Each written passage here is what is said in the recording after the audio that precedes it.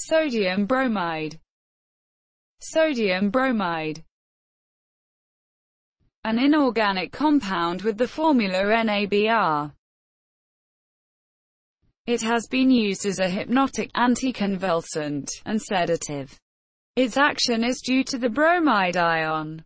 And for this reason potassium bromide is equally effective. In 1975 bromides were removed from drugs in the U.S., such as Bromo-Seltzer due to toxicity. It is only effective when used over period of time and useless as an occasional hypnotic.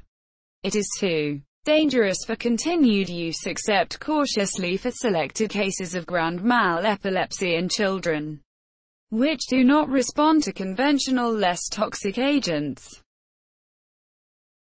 Adverse effects include neurologic deficits, sedation, agitation or excitability, caudal paresis, ataxia, decreased pelvic limb flexor withdrawals, polyphagia, polyuria, polydipsia, and vomiting.